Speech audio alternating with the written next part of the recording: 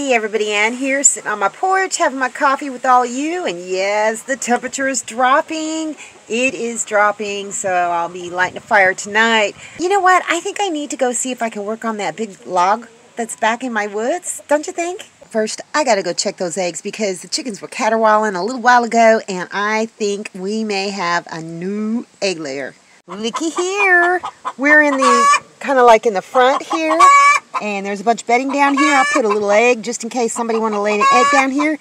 And we got a brand new egg. This is a little tiny one. So I'm pretty sure it's got to have come from one of the new girls. I am thinking that it is Beauty because she... oh, who is that? Because she was sitting on the nest the other day and look it, a brand new egg. That, I'm pretty sure that that is a cocoa egg. Let's compare the size. Oh yeah, that's a big one.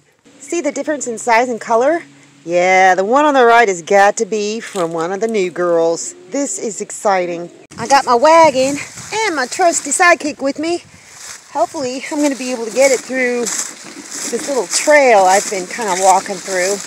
Got to go up and down a hill, go over a little uh, drainage ditch, so, I don't know. I think I can do it. Yeah, that piece of wood right there is so rotten. It's ridiculous. I mean, it's just basically falling apart. So, I don't think I'll ever be able to burn that. All right, here we go. Hopefully I can get down here. piece of cake. Whoa! oh, that's funny. Oh! Okay. Come on, Papa, we can do it. There it is, in all her glory. Yeah, I think I'm going to go ahead and start over there. So I'm going to go around this way. You know where we're at? This is my favorite mushroom tree. Oh my gosh, hopefully I haven't destroyed it so much that it won't spawn mushrooms. And it's right over the place where I find those oyster mushrooms. Oh well, that's all right. So let's go all the way down here. And I had already made one little cut over here.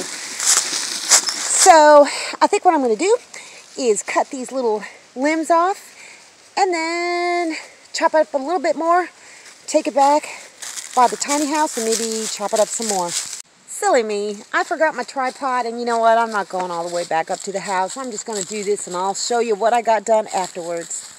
I got all those little pieces off with my Fiskars axe and boy, I tell you what, I mean, this is a green tree, so I don't think I'll be burning it this year. I don't know, maybe, maybe not.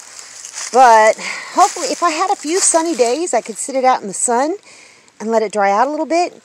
But I can also take it into the tiny house and set it near the stove and let it dry out that way. So now I'm just going to take that, put it up on there, use the bow saw, and get it cut apart. There it is.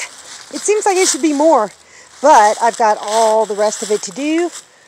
So I'm just going to move this wagon a little bit over here and see if I can lift lift it up on top of this other side and just start cutting it off. But you know what? I'm going to go down and cut off as many of these little limbs as I can first. Look, I got to show you, this is just testament to how awesome this Fiskars axe is. Basically, all you got to do is just tap it. Tap it, a couple times for some of them, and it's gone. Easy peasy. Oops, hard to do it and film at the same time.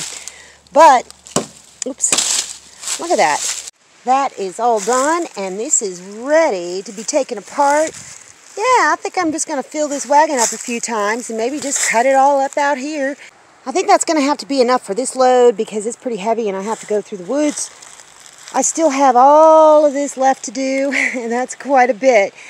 But that's okay. I think I can get it done today. But it is literally green. that's all right. It'll dry eventually. I think that's about all I'm going to be able to do today because I am tired. I got it to here. I've got that much more left to go. I think that I, I've got about more than half of it done. Um, this is going to be the harder part because I'm already starting to tell how much bigger this is than the other pieces that I was cutting down. But I'm going to go ahead and take this back to the tiny house, split it up, stack it up, and call it a day. Y'all remember this, don't you? I love this thing. Look at that. Love it.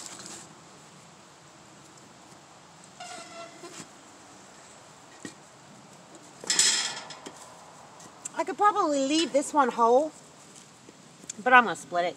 Because it's so green, I'm thinking it might dry out a little bit better if I split them.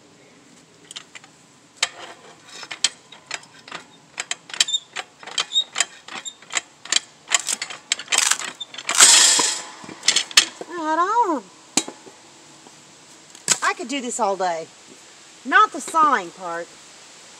That's kind of a little bit more work. There we go. Oh, this wood is so green. But I'm getting it done today, so.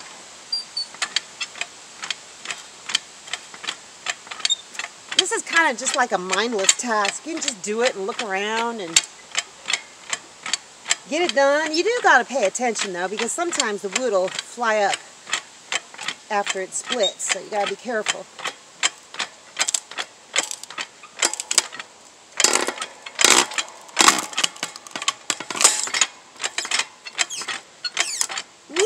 Woohoo!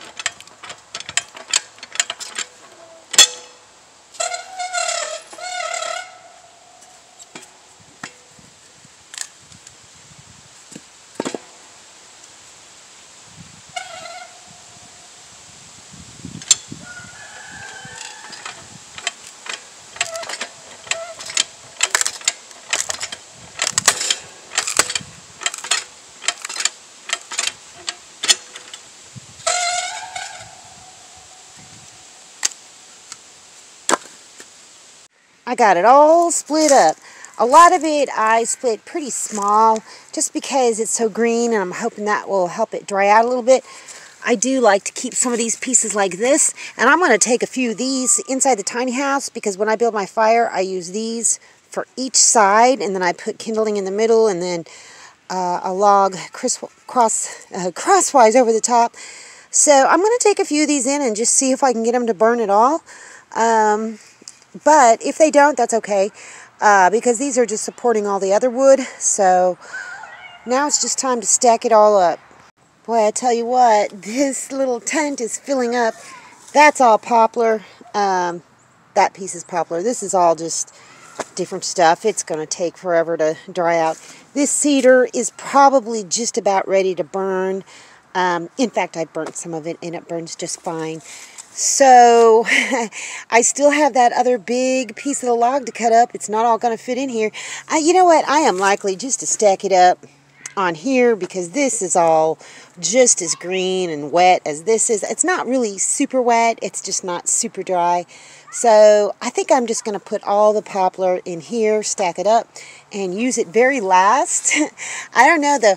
I've got I've got like these pieces in here I'm going to take inside and just kind of test them out and see how they burn, you know, on the sides of the wood burning stove. But I'm pooped. Look at who we got down here. It's almost 6 p.m. That is Beauty. And you can't see it, but there is an egg underneath of there. I know for sure she laid an egg. That means the other. That means uh, Scarlet laid an egg too. Good girl. Oh, look at that. It's a soft-shelled egg. Poor baby. Yeah, I'll get that out of there so you don't have to mess with it. Yeah, she's not quite regulated yet, but I have every confidence that she will be soon. I am done for the day. I am going to cover up this beautiful log splitter that I've got and sit on the porch. Oh, I made myself some Bengal spice tea, some herbal tea. Oh, I'm going to go finish that and drink that up. I forgot all about that. So that's what I'm going to do. Anyhow, yeah, tomorrow I'm going to hit the rest of that log and get it done tomorrow. So that's all I got for you guys today. See you in the next video.